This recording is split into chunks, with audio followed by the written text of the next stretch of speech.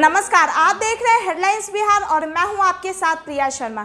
बिहार विधानसभा चुनाव बेहद नज़दीक है, ऐसे में सभी प्रत्याशी एक दूसरे पर आरोप लगाते नज़र आ रहे हैं। पिछले दिनों बीजेपी ने घोषणा पत्र जारी किया था और उस घोषणा पत्र में कहा था कि अगर हमारी सरकार बनी तो बिहार वासियों को फ्री में कोरोना वैक्सीन दिया जाएगा।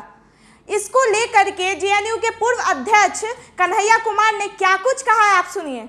घर घर घूम करके पोलियो का ड्रॉप पिलाते थे।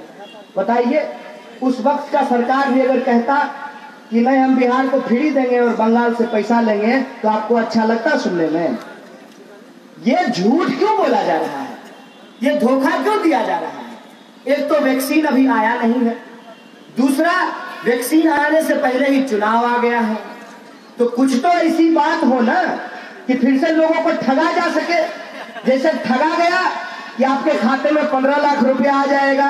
क्या वो लोग कैलन हाथ उठबोता एको गो नहीं इहल कहै छियै। भाजपो वाला से दुकान पर लड़ाई के ज़रूरत नहीं छै। ऐसा नहीं कि खाली तोरे ठेक लेलको हन बेचारा ओकरो ठेक लेलको हन ओकरा कहियो, यारवा, रहबै जरे न साथ चाय पी रहलिए हन। साथे जेबै एजा से बेगूसराय, उहे काटा में लटक के तो आपस में लड़ा कौन ज़रूरी?